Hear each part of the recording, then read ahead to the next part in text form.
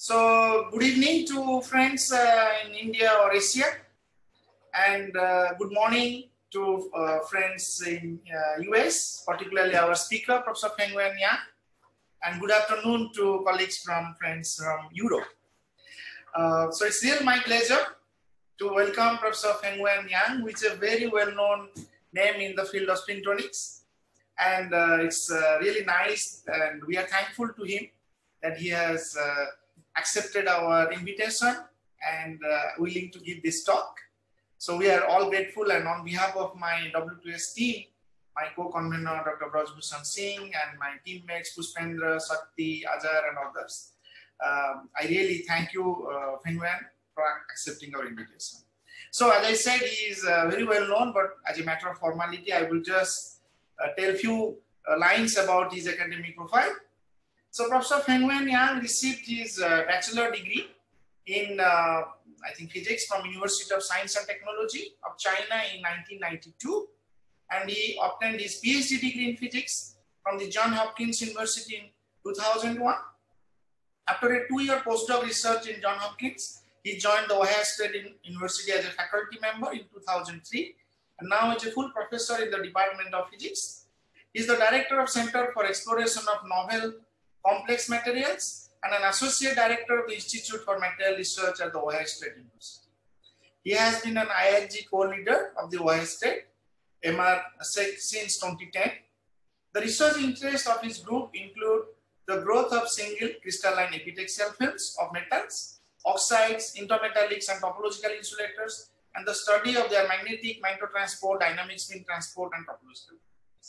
So with this uh, brief introduction, I again welcome you, Fengyuan. And I, there may be new participants. So I just want to mention that during the lecture, we don't take questions. So uh, you, you can always write your questions in the chat box or just say, I have a question or raise your hand. At the end of the lecture, I will take all the questions one by one. So uh, thank you. And uh, it's all yours, Fengyuan. We are looking forward to your lecture. Thank you. Uh, thank you uh, for the invitation. It's my great pleasure to uh, give this uh, Zoom seminar to, the, to your excellent uh, W2S uh, seminar series. So uh, my, the, the, talk, uh, the topic of my talk today is the electrical switching of antiferromagnetic spins in this platinum hematite bilayers, and the hematite is the alpha phase Fe2O3. That's a very well-known uh, antiferromagnet. So this work has been primarily done by my uh, recently recent PhD student Yang Tang, and then uh, several other my students and postdoc, and as well as my uh, collaborator, uh, Professor Jinwoo Hwang uh, from the OSU uh, Material Science Department. So, so here's the outline. First, I'll give an introduction to the antiferromagnetic spintronics, um, and then uh, how is that similar or different from the spintronics research based on ferromagnets. And then I'll describe the, the growth and the characterization of the uh, iron, iron oxide epitaxial films grown by our uh, off-axis sputter, sputtering technique. And then I'll present the uh, experimental results of the electro switching of the uh, platinum iron oxide bilayers, uh, as well as a control experiment on platinum uh, sapphires, uh, on sapphire, which is which has no antiferromagnet, just to rule out some of the uh, artificial effect. And then I'll, in the end, I'll present Monte Carlo simulation of, of the antiferromagnetic switching process, and then I'll summarize. So to begin, uh, I'll give a, a, a, brief introduction about spintronics. I mean, spintronics has been, the word was uh, coined in, like uh, in the late 1980s. So it has been over three decades. Um, so why is it important? First, I look at this remarkable uh, success of the semiconductor-based electronics technology. So it, it follows this famous Moore's law. Basically, the number of transistors in semiconductor devices should uh, approximately double every two years, right? Actually, sometimes it's like one half year. So it's extremely uh, productive in this technology. And the the curve you see from the, the bottom one is the number of transistors per, uh, per chip. you see that it's, it, it's exponentially grow. Uh, this is the log scale until relatively recently, right? To the to, in the 2010 or a few years after that. After that, it actually kind of leveled off somewhat. That's why you see like quad core or eight core processors. That's because where if you continue to push the, the node size, right now, the state of the art probably is like seven nanometer or five nanometers. You don't have much room to go because, you know, one atom is, is about two angstrom in size. So you have five nanometers, that means you have 25 atoms in a row. Devices that small, you're going to run into fundamental challenges. So some fundamentally different technologies need to come up. This is this happens when the digital digital economy is booming. Actually, is accelerating. This is the report from the Time magazine a few years ago, saying at that time the digital economy uses one tenth of the world's electricity, and then you see this, you know, this this huge server farm by all the major companies like Amazon, Google, Facebook, etc all those cloud computing, those 5G, those future technology, they all rely on computing power, right? Storage. So what is the next generation of the technology? So there have been some candidates as laid out by this international technology roadmap for semiconductors. So many of you probably know about this carbon base, for example, graphene, nanotubes, other 2D materials. That is a heavily invested, uh, investigated area as the potential for the next generation technology. Equally important is the spin-based technologies. That's what the spintronics come in. And there are some other candidates, but, but now the other candidates are not as prominent as the top two. So today I'm going to focus on the spin-based devices or the spintronic devices. So there has been some uh, remarkable successes for spintronics. Some of the uh, famous example would be the magnetic hard drive. Right now, your computer, my computer, the laptops probably use the solid state drive, which is not magnetic.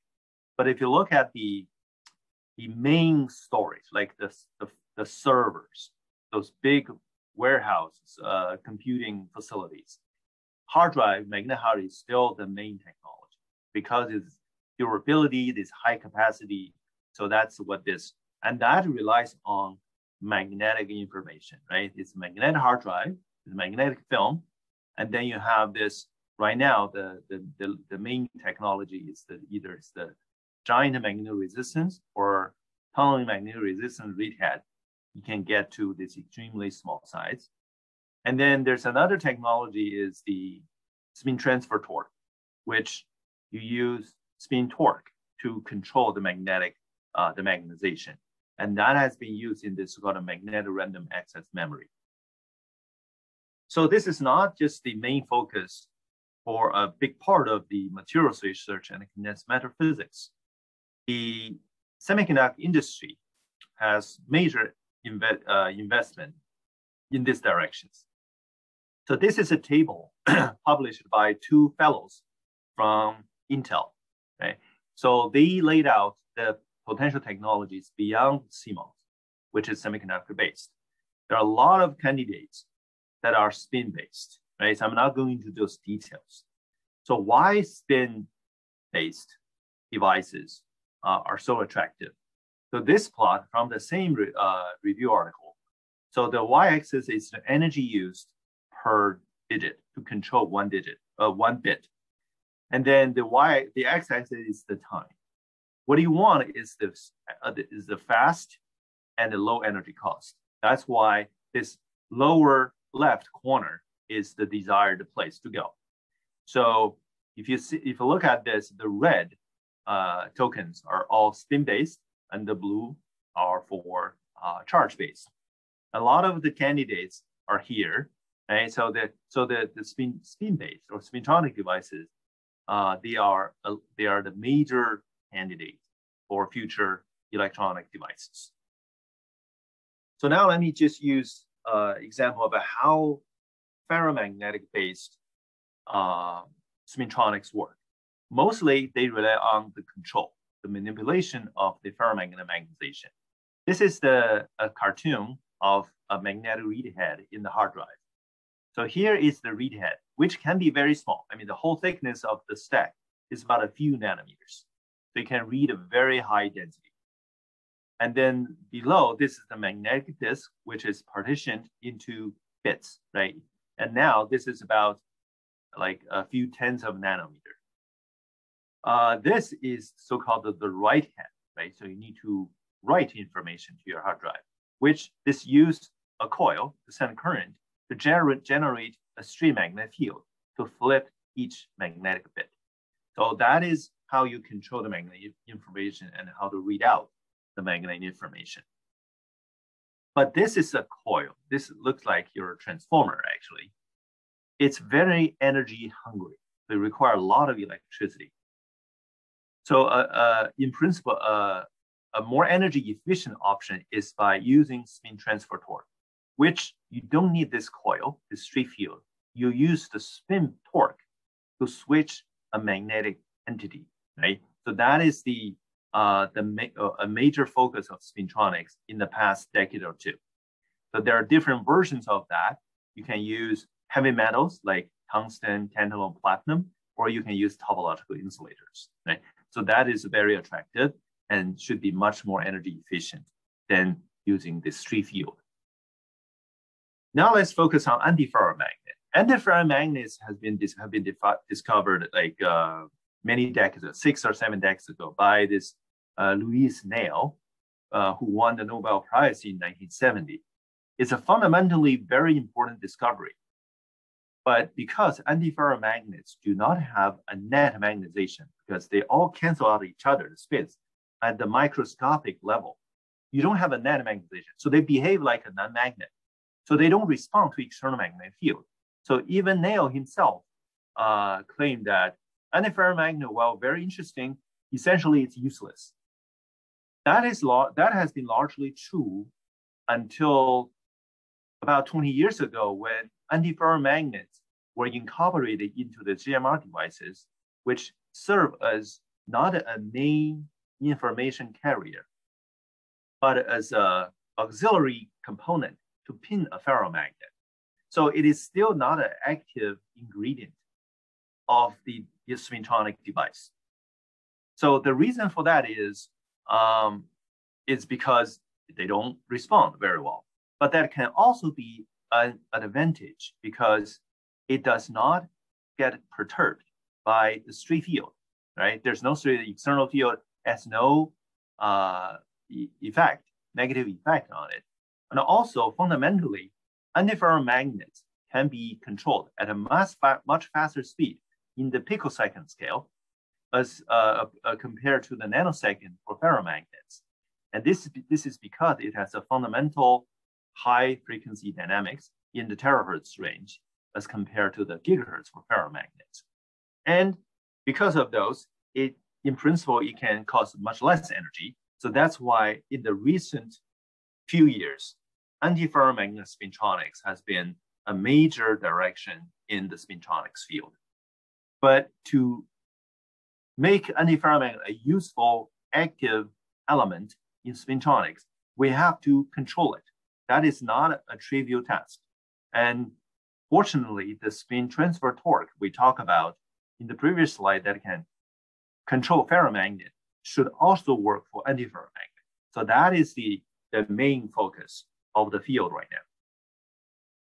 So uh, I'm going to highlight two major uh, uh, breakthrough uh, discoveries in this field.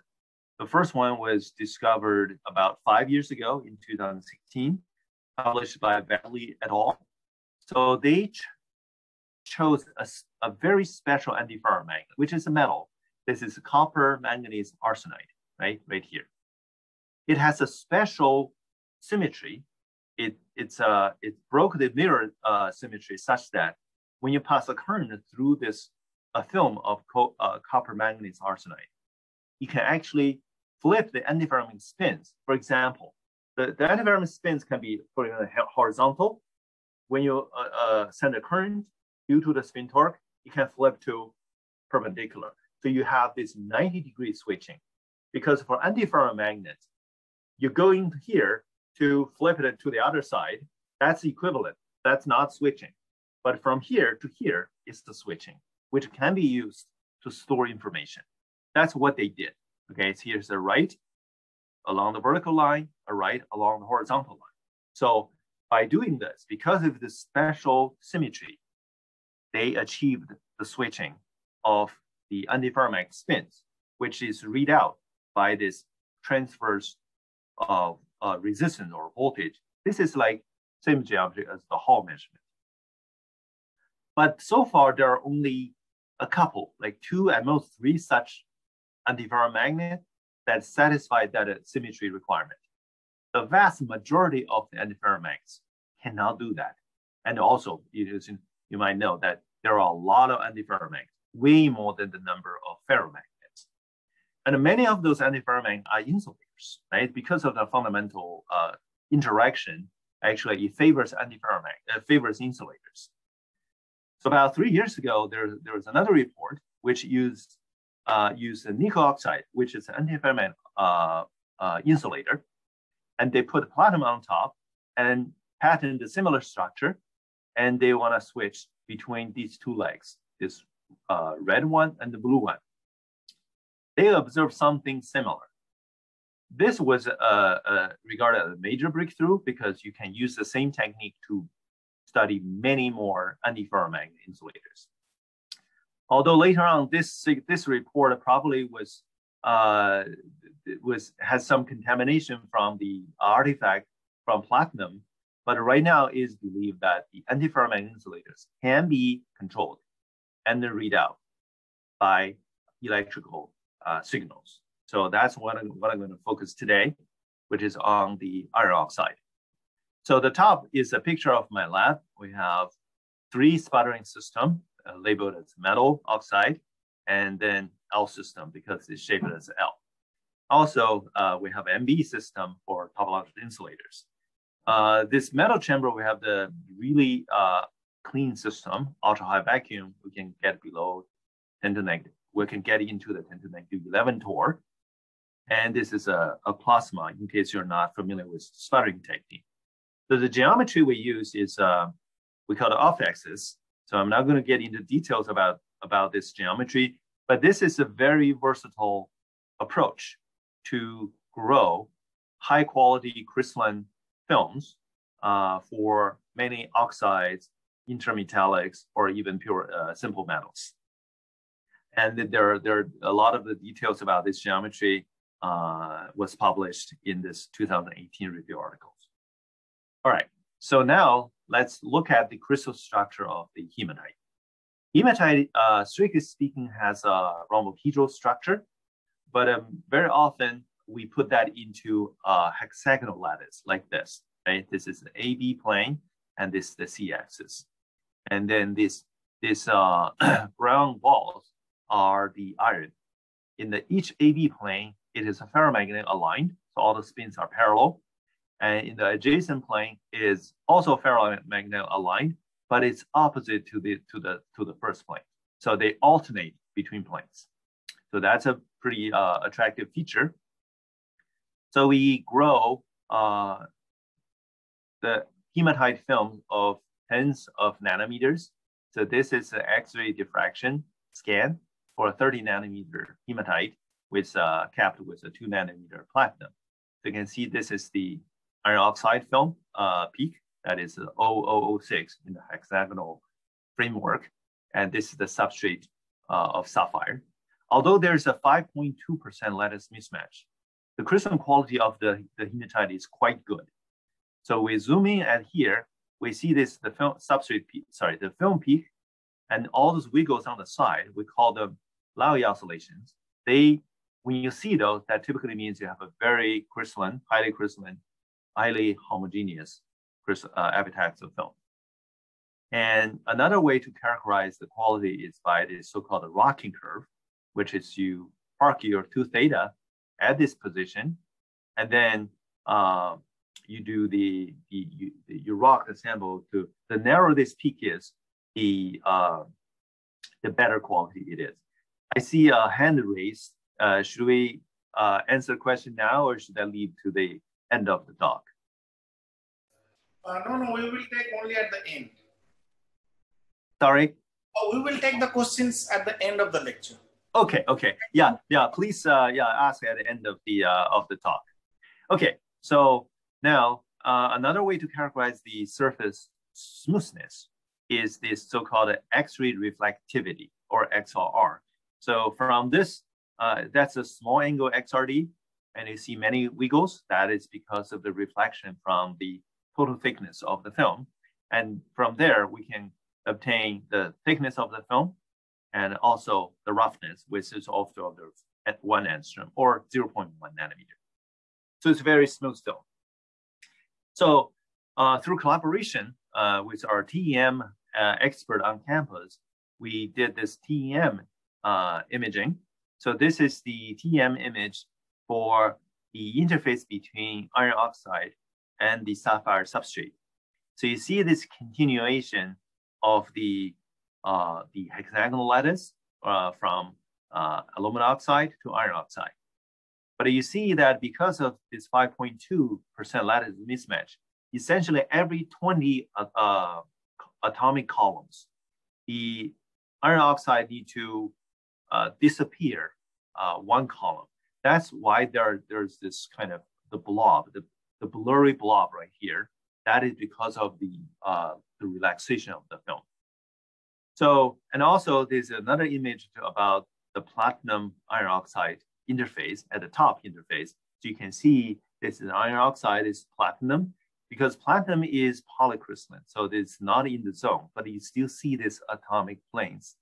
Uh, although not very clear, but uh, you, you can see the, the layers. All right. Another way to characterize the, the surface smoothness is the uh, atomic force microscopy. Here I show two uh, uh, scans for different sizes, the different regions. One is just the hematite itself, the other one is with platinum. You see this terraces, that is from the substrate, from the, uh, the sapphire substrate. So it's quite smooth. The roughness is about 0.1 to 0.2 nanometers. Right. So now let's look at the in-plane structure. The, the in-plane, the AB plane is a hexagon. So this kind of structure should naturally give you a six-fold or three-fold symmetry because antiferromagnet pointing this way or that way is equivalent. So we have this three equivalent easy axis, E1, E2, E3. That's why we call it a triaxial, which means when you rotate 60 degrees, every 60 degrees, you have the same anisotropy, which means the antiferromagnetic spins prefer to align along one of the three axes. So we pattern our film into this uh, three, uh, three lines, uh, 60 degrees apart, three channels. And uh, in addition, we pattern the two narrow lines vertically as the Hall probe, the, the leads for Hall detection. And this is the, the, the, the cartoon for this structure. And we can apply magnetic field later on and by varying the field. So we can apply a current through any of those three channels along E1, E2, E3, and then detect the Hall uh, voltage, which is a reflection of the antiferromagnetic spin direction. So first, let's look at uh, such an experiment. So this E1, E2, E3 refers to the pulse current, which is the switching electrical pulses uh, along any of the three channels. You can see, so for each leg, we send 10 pulses, right? Uh, each pulse is one millisecond in duration, and then the, the pulse current magnitude is nine milliamp. The channel width is 10 micron. So this is 10 pulses along the E2. So the reading from the Hall is um, uh, through this, uh, as I will describe uh, next, why we can detect it through the Hall detection. And then when we change the direction from E2 to E3, we see a jump of the, the Hall detection, we call it delta RXY. And so it jumped at the first pulse and remained the same for the next nine. And then we changed it back to along E2, the pulse current, and it switched back and, and formed this plateau. And then we, when we switch to E1, it get to lower. So, and then a plateau. And so everything is pretty repeat, repeatable. So we have these three states of the Hall resistance.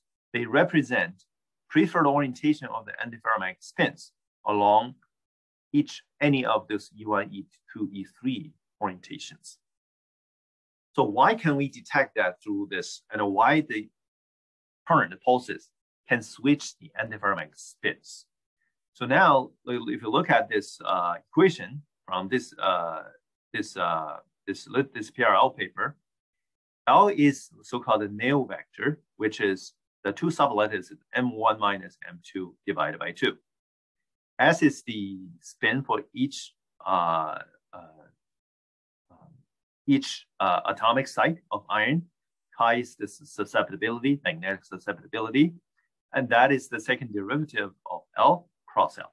That de describes the dynamics of the Néel vector. On the right-hand side, there are three terms. The first one describes the Néel vector precessing around the anisotropy field. Okay, that's the, the uh, similar to the Larmor precession in the magnetic uh, dynamics. The second term describes the magnetic damping, where alpha is the damping constant. The third term is the current-induced anti-damping torque. So P is the spin polarization in the platinum at the interface generated by the spin Hall effect. Theta is the spin Hall angle, and J is the charge current. Okay, and so this is the anti-damping torque. The end result of this dynamics, this equation, is to make the Néel vector to be parallel along the current direction. So which means if you send a current along the IP, uh, along the E2, then the, the result will be to switch some of the antiferromagnetic spins to be parallel to E2. So this N is the same as L, right? Sometimes Néel vector is referred to as N, sometimes as, as L. Uh, they are the same. So how do we detect those? As I mentioned, we detect through the Hall effect. So this Hall effect, since current can only flow in the platinum, not in the hematite, because hematite is insulator. So this has to be through the interaction at that interface. So we can call it a spin Hall, anomalous Hall effect, because it behaves like an anomalous Hall. Or uh, some people call it transverse spin Hall magnetoresistance. They are the same mechanism. Uh, I'm not going to get into the details of those, and there are a lot of literature about that.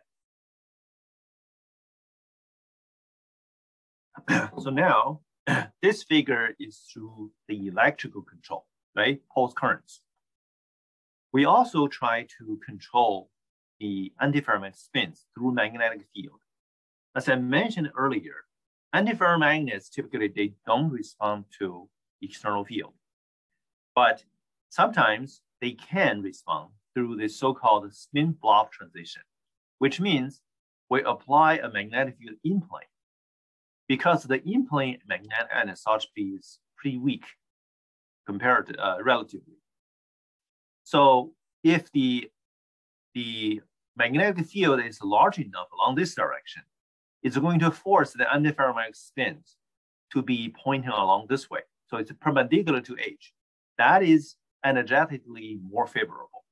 It turned out that such a critical field for iron oxide in plane is very small. It's about 0.3 Tesla.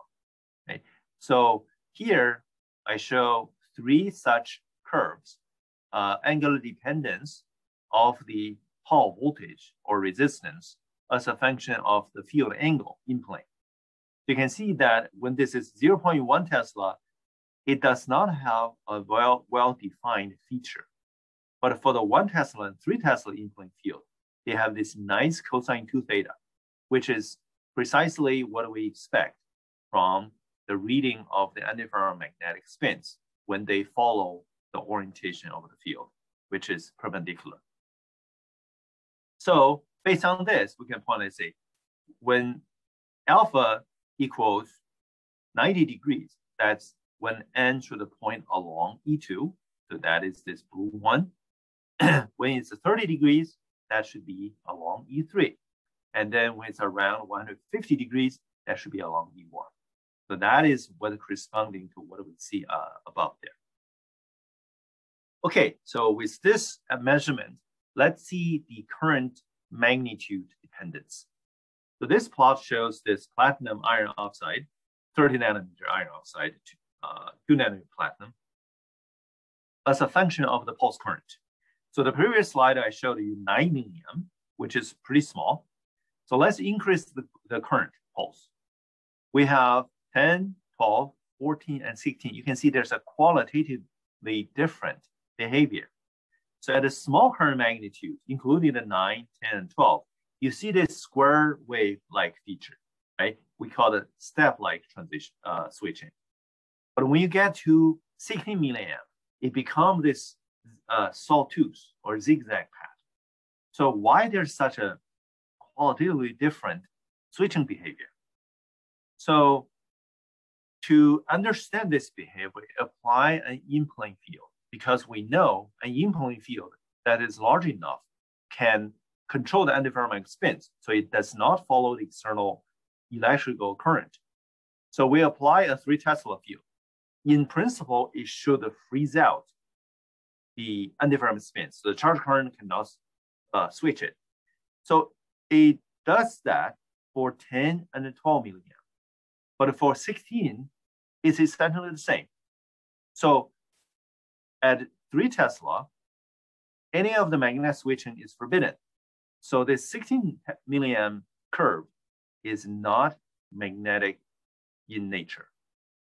So, and then uh, we plot this uh, switching magnitude as a function of IP. You can see that this is not that well defined, but when you apply a field, this is exponential. So this is semi-log plot. So we'll come back to that later. So now let's plot this 60 milliamp and 12 milliamp individually by comparing the zero field and three Tesla field uh, switching pattern. For the 60 milliamp Tesla, uh, milliamp, they are essentially the same. Uh, it's kind of noisy. Uh, they are qualitatively the same. So it does not matter whether you have a field or not. But for 12 milliamp, it's square-like when we have zero field, but essentially flat at three Tesla, although you still have a little bit uh, this sawtooth feature in there. So what is the cause of that? So my student accidentally discovered after they apply a even higher pulse current, like 18 milliamp, and then you go back to measure lower current, like 60 milliamp, the, the curve, the switching curve become qualitatively different. So the blue one is a fresh sample, has not seen very high current. It has this sawtooth behavior. But after the 18 milliamp, it becomes this nice step-like feature. And then you apply a field of three Tesla, this becomes flat. So somehow this 18 milliamp high current make a dramatic change to the system, this platinum iron oxide. So we, that's why we call it annealing. So if we compare the fresh sample of the uh, the 12 milliamp of the before and after the, the annealing, they're qualitatively uh, similar, but the, after the annealing, the curve because becomes more well-defined, more square-like, without this small uh, sawtooth features. And then when you apply a field, they become essentially flat. So now let's look at after the annealing, let's look at the, the switching magnitude from 6 milliamp all the way to 16. And then they are all square and the magnitude become larger. So the larger signal typically means you have more antiferromagnets that get um, uh, regions that get switched. So if we plot the Hall uh, voltage uh, and the resistance as a function of the current above 8 milliamp, it is linear. Remember, this is a linear linear plot. That means that indicates strongly indicate that this linear dependence indicates when you apply a pulse current, the current is proportional to the spins generated in the platinum through this spin Hall effect. And that magnitude of the amount of spins is proportional to the magnitude of the spin torque on the antiferromagnet. So you can think of an IP eventually is equivalent to an effective magnetic field, like it does on the ferromagnet. So now let's look at the current dependence of the switching behavior for a, a, a, a 9 milliamp pulse current. You can see at a 300 Kelvin, it is square, and at, at, when you reduce the temperature from 3 Kelvin, 300 Kelvin down, the magnitude of the switching becomes smaller, smaller, and eventually it's gone at 200 Kelvin. So for the switching generated by the pulse current, we also need thermal energy. So this is thermally activated such that antiferromagnets can be switched. So if it's too cold, they are frozen. So we cannot do that. So this is a thermally activated process. So now let's come back to this uh, uh, this this uh, sawtooth feature at high current for the fresh sample. What is the cause of that? So we suspect that it's from the platinum, not from the iron oxide. So we deposited a two nanometer platinum directly on sapphire. There's no magnet, magnetic film. So by, and then we did the same measurement and we found out the same sawtooth feature appeared. So this is nothing magnetic. And then when we lower the current, it remains this sawtooth feature, just the magnitude becomes smaller. Then we did this, um, well, here we, have, we plot the magnitude in the semi-log plot, it is uh, uh, uh, exponential dependence. And then we did annealing, so we can largely reduce the sawtooth, but it's still there.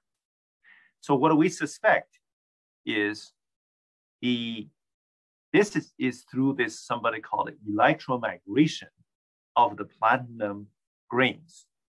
For two nanometer platinum, the grain size is very small of comparable to the thickness. So, and the, the when you pass a current, a high current, it's going to move the, the domains, uh, the, the grains, and then sometimes maybe make it larger, make it make it emerge somehow. That's why the annealing at high current, uh, what it does to the film. So after 18 milliamp, you largely reduce the uh, amount of grain boundaries such that you can uh, reduce this uh, electromigration. Uh, so it's reduced this apparent switching signal. So now let's look at the switching magnitude, right? After the 80 milliamp switch, uh, annealing. So now we see this is the linear dependence. So the magnitude at 60 milliamp is about 0.02 ohm for the Hall resistance. If you compare that to the field controlled switching, as I showed earlier. When it's saturated, this magnitude from the top to the bottom is 0.27 ohm. So the electro switching we measure through the pulse current is less than 10% of what we, what we would get from the field control. So what is the reason for that? So this, keep in mind, we send the pulse current, and when we detect we use a smaller current, much smaller current, without the presence of the, uh, the pulse current. So this is equivalent to the, when we measure it, it's at a zero spin torque, or we can call it remnant state. Well, in this measurement, we measure the Hall voltage or Hall resistance in the presence of a three Tesla field. So why there's such a difference? Okay, so my student did this uh, Monte Carlo simulation about the switching process by modeling the Hamiltonian of the hematite. So this is the exchange interaction, right? So that exists in both ferromagnets and antiferromagnets. And then this is the, we call it uh, the anisotropy, uh, or let me call it, this is the in-plane triaxial anisotropy this is the easy plane anisotropy, or Sometimes you can call it out-of-plane anisotropy. So this is the dominant term. So in here, we can have an effective field due to the spin orbit torque, right? That's proportional to the cross uh, chart uh, pulse current you apply, which is of course proportional to the spin Hall angle. So let's model this effective field, H effective. And we can uh, model that from by applying the pulse current. Suppose you can get large enough so you reach a saturation. So everything, let's say along this E3, it, everything is parallel along this E3. But when you remove this pulse current and when you measure the Hall, it's going to come back to the remnant state because the in-plane anisotropy of iron oxide is quite small. So it reduces into a multi-domain state. That's why electron, uh, electrical switching, you don't measure a full saturation, but a multi-domain state. For example, if you cannot apply to a very high current, which we can't because we're going to burn our sample, and then you reduce back, this Monte Carlo simulation shows that your remnant state is even lower. That kind of qualitatively explain why our electrical measurement, the Hall signal is much smaller than the um, than the uh, field control, uh, which is at a saturation state. To do that, we actually um, use field to simulate that. So we can apply a field up to one Tesla, which should fully align the antiferromagnetic spins. And then we reduce the field gradually. And then experimentally, we get to zero. We see that the signal of this, uh, the indeed is decreased, right? So that qualitatively explain the why the signal of the electrical switching is smaller than the field controlled uh, switching. Okay, so now I'm going to come to a summary. So I'm pretty much on time. So I described the uh, how we grow grow the uh, the epitaxial film of hematite, and then we characterize the crystal structure. So for antiferromagnetic control, you you want your film to be crystalline crystalline quality to be as high as possible, so the magnetic quality will be homogeneous.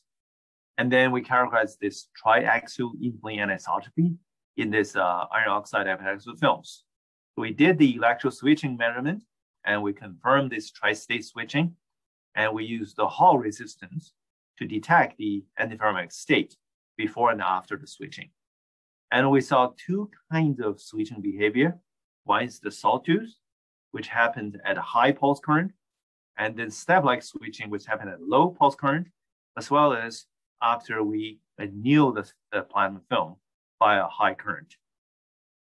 And then we investigate the, the current magnitude and temperature dependence to better understand the switching uh, mechanism. And through the control measurement of a single platinum layer directly on sapphire, we, we believe that this sawtooth behavior is largely due to the electromigration of the platinum layer itself.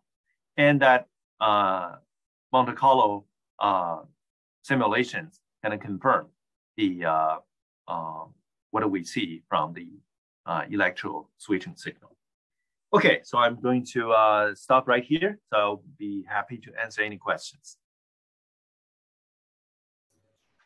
Okay, thank you so much, uh, Fengyuan, for this uh, very, very nice talk uh, and really summarizing the basics and the developments in this field. Um, so thank you so much. On behalf of everyone, I thank you. And we are now open for questions. Uh, do I have any questions? Otherwise, I, I have actually a few questions. Uh, so uh, uh I will take uh, some questions from myself. And I request others to either just write a hi or raise your hand and I come back. So um, in the um, so in one of your slide, you saw this uh, equation, the damping, anti-damping equations. So the damping uh, basically comes from where? This is an antiferromagnet. So, Correct. This, yeah, damping is from the uh, the hematite. Hematite. Okay. So this yeah. is uh, like damping constant of an antiferromagnet. Correct. Okay. And uh, how much it is for hematite? Let's say if you want to quantify it. I have, I, okay, so it's not easy to measure those, but uh, uh, it's generally believed that for antiferromagnetic insulators, the damping is is relatively uh, small. So I saw some uh, theoretical modeling use something like 0.001. It's like uh, the order magnitude for the damping. So it's lower than, let's say, a lot of the ferromagnetic oxides or or metals. Okay. It's uh, so it's 10 to the negative three in that uh, neighborhood. Could be in, could be into the 10 to the negative four. So, but it's not. It's pretty challenging to measure the magnitude of the antiferromagnetic damping. Well, maybe the antiferromagnetic resonance can give some uh, indication of the magnitude of alpha. Okay, uh, thank you. If you go to slide, uh, I, I, think uh, the, uh, same slide actually. So this uh, three-step or the tri-step switching. So I didn't understand why the switching for E1 will be much lower resistance compared to E3 to E2. Any? Ah, excellent question. So um, let's say, uh, let's say, so when we apply the token along E2, and then when we measure the Hall voltage, we send the sensing current also along this horizontal channel, and we measure the Hall voltage through here. So this is a perpendicular direction. Suppose when you when you send a pulse current, the net effect will be your antiferromagnetic spin will be along this direction.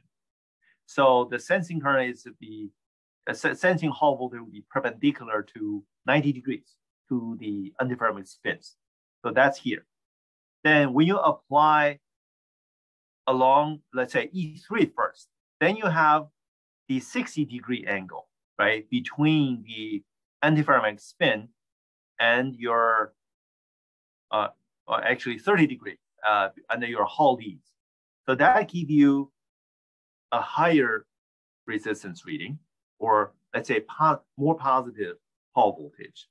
And then when you apply along E1, which is on the other side, so that give you a lower one. So to understand this in more details, we need to look at the spin Hall magnetic resistance, which involve the spin torque at the interface between platinum and hematite.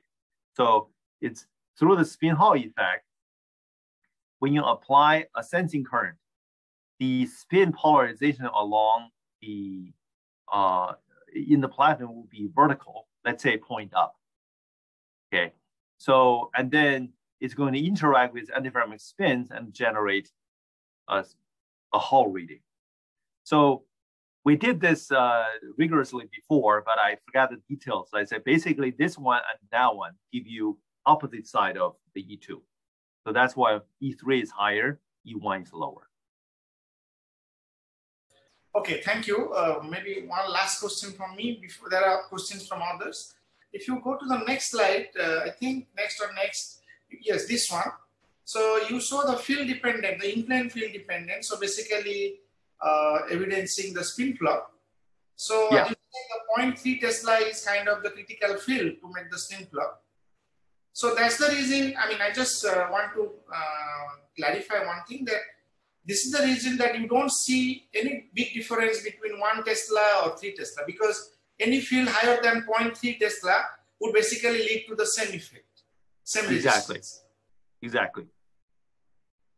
I'm right? Yes, yes, you're correct. So, so the, the spin flop transition field for in plane is around 0.3 Tesla. So yes.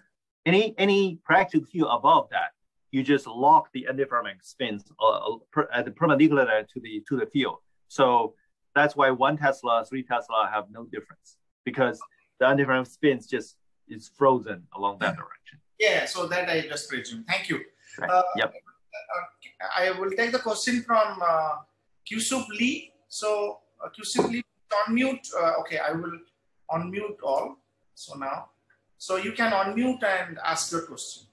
Okay, so uh, thank you for your nice talk. I have uh, two questions regarding on first uh, platinum thickness. So have you tried with the thicker platinum like a five or six nanometer because it has been known to that uh, it demonstrate the more efficient uh, spin-orbit torque, the ejection layer. You, so you're in that right. Case also, have you uh, demonstrated such a salt type uh, sawtooth like uh, behavior, or it's just like uh, there is a, a, negligible thermal effect and you just get the clear SOT induced effect? Okay, that's a great question. So, I mean, we did try uh, up to five nanometer. So, the the five nanometer, the the uh, you, what you said is correct, but uh, the the downside is as you go grow thicker, let's say five nanometer, the the resistance, which is the rho xx of the platinum layer, is much smaller. It's not just 2.5 times smaller. It's like uh, eight or 10 times smaller. So the much smaller uh, rho xx cause a problem for the Hall detection because the Hall uh, signal is closely related to the rho xx. So the switching signal becomes much noisy, uh, much noisier, and then uh, eventually just not a high quality uh, uh, data. So that's why we mostly use two or three nanometers. For mm-hmm. the smooth films like this, we stay at, at two nanometer because the simply because the Hall signal is much larger. But instead, also you have a stronger thermal effect. So as you mentioned, uh, the switching behavior underlying mechanism is the like uh, thermal assisted or thermal driven switching. Uh huh. So is it so, some? Uh, yeah. Mm. So the, the, when I refer to the thermally activity mm. switching, I think uh, that's mm. uh, that refers to what happens in the hematite in the iron oxide.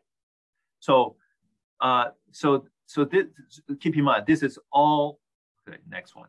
This this is this happens uh, at a, at a we use smaller current and then we vary the the measurement temperature. Okay, mm-hmm. this is the temperature of the hematite. Right, at a slow small current in, in the platinum, the electromigration of platinum is very minimal.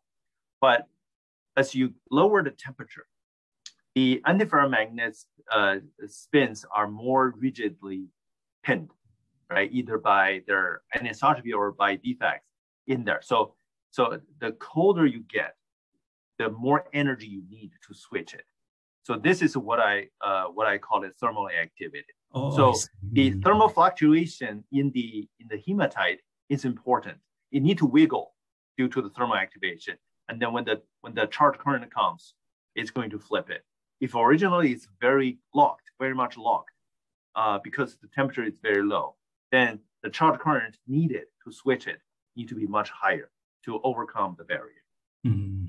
Okay, so my second question is regarding the anisotropy. So actually also it is known that it's really hard to get the triaxial anisotropy on this film state. So have you ever characterized the in-plane anisotropy energy and it indeed shows a triaxial property? Uh, no? So let me, let me, uh, so the, the triagonal, so, so when we saw this kind of behavior, Mm-hmm. We know that the three axes are not uh, there are three stable states. So, and also when we pattern the sample, my students uh, measured which direction is this, right? So, so basically, which direction crystal structure is this edge. So they patterned the, the this uh, three channel mm-hmm. along this direction, right? This easy axis. Uh, so our evidence is through these three levels, right, of the Hall resistance. So other than that, so the field control, we cannot measure the triaxial anisotropy. Uh, so mm-hmm. the only evidence we have is the Hall resistance. How can we independently measure the triaxial anisotropy? We haven't done it. Mm-hmm. Okay, because and it's not clear how oh. we can measure it. okay, because uh, I remember uh, so on top of this uh, typical sapphire substrate, which typically has a slight miscut, so it induces a yes. specific uh, orientation of the iron oxide. Absolutely. So it has a typical uniaxial anisotropy. So that's why I'm surprising to see this one actually. Okay, so mm-hmm. you're you're correct. So we have we have seen this three step uh, transit uh, three level in some of the samples, but not in all samples. So in, in some samples, let's say one of the, the switching is much weaker, while the other two are more, more dominant. I suspect that's due to this uh, the, the quality and the nature of the substrate surface. But uh, we did see uh, we did we have seen repeat repeatedly that uh, it has three states. Although this is just a more even distribution of this for this particular sample. For some other samples, sometimes we can only see clear switching between two states, the two two orientations. Okay, okay, very clear. Okay, thank you very much. Yeah. Yeah, Thank thank, you. you. so much. Uh, so Pranab, uh, please unmute and ask your question. Uh, hello, Professor Yang. Very nice talk. Thank you. I had a few questions. Uh, I was wondering, uh, did you try the, to confirm that this switching is due to the spin orbit torque? Uh, did you try, for example, changing platinum to tantalum and see some reversal uh, because of the uh, different sign of spin Hall angle in platinum and tantalum? Okay, so uh, that's a great question. So my student did use tungsten, which is similar to tantalum. So, and he saw similar switching behavior. Although, I mean, tungsten, they kind of, for two nanometer, we only measured a very fresh sample and after some time it getting oxidized, but we did see that. But because this, this, uh, this switching, so the switching of antiferromagnet is different from the ferromagnet because antiferromagnet, the spins are this. So the switching, if, if, if it's a, let's say for platinum, it's the spin up, or for tungsten spin down, it gives you the similar effect. It just want to pull it along that direction. So tungsten and platinum show similar behavior. Okay, okay. So, uh, you know, you can think of this as a theta spin Hall squared. So the sine of this spin Hall angle got canceled. So they, they, they behave similar. Uh-huh. Okay, okay. So yeah, interesting. So I was wondering the thickness uh, for this um, uh, uh, alpha Fe2O3 that you use is 30 nanometer. Uh, Yeah. I thought it's very thick to switch. So it is likely that you are just switching at the interface. Sir.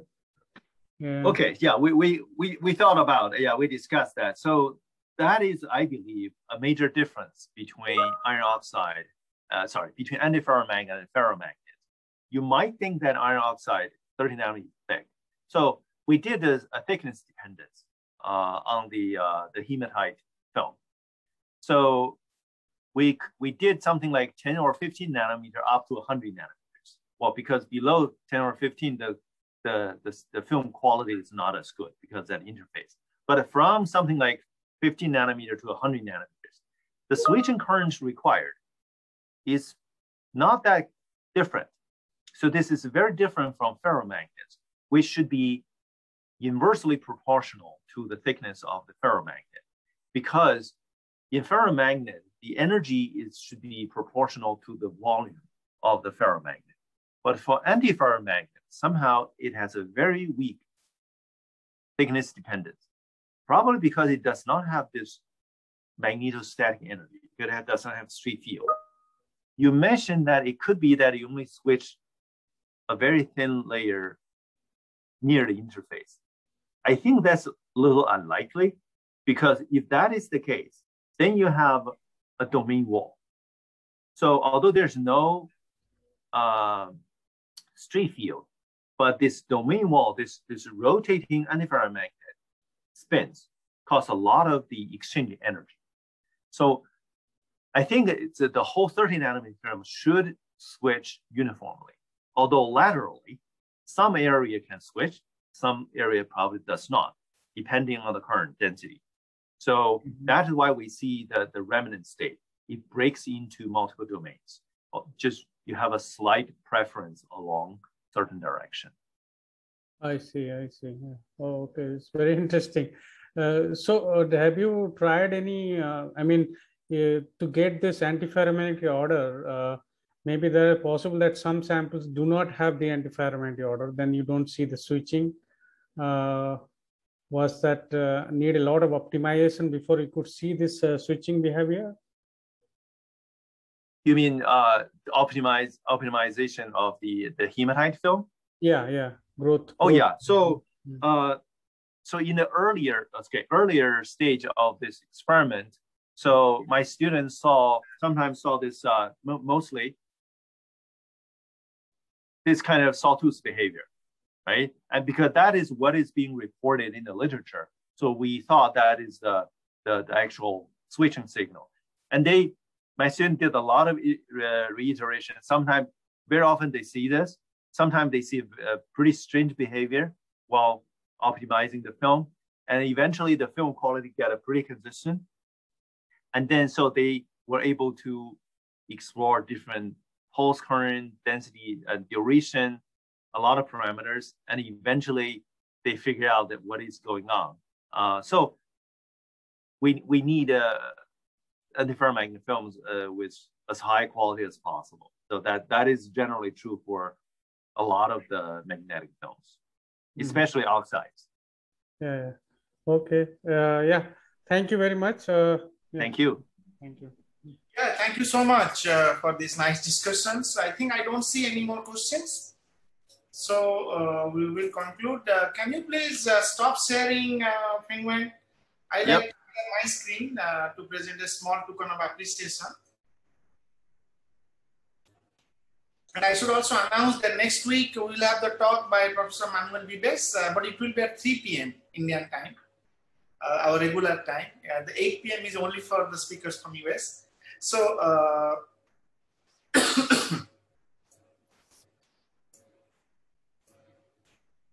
so do you see my screen, Fengyuan? Yes, I did. I'm doing. I I I, I see it. Yes, it's a uh, very small to token of appreciation, a digital plaque from our mm. team. So I will just read it for you. Uh, the Thank you. seminar webinar series on spintronics, uh, NISER Bhubaneswar, India, takes pleasure in presenting this plaque to Professor Fengyuan Yang from the Ohio State University in US in recognition and appreciation for being a very valuable speaker to give a lecture on electrical switching of antiferromagnetic spins in platinum iron oxide bilayers. So thank you very much uh, for your really excellent talk. It was very enjoyable and uh, very uh, active discussions. We enjoyed, and we hope uh, sometime when uh, the time zone matches convenient for you, hopefully you can join the lectures. And we hope that someday we will meet in person, maybe in India or in the United States Uh, or other places. But uh, until then, uh, please stay safe and see you next week, guys. Thank you so much, Fengyuan, again. Thank you. Thank you so Thank much. Thank you very much. Have a nice day. Bye bye. You too. Bye.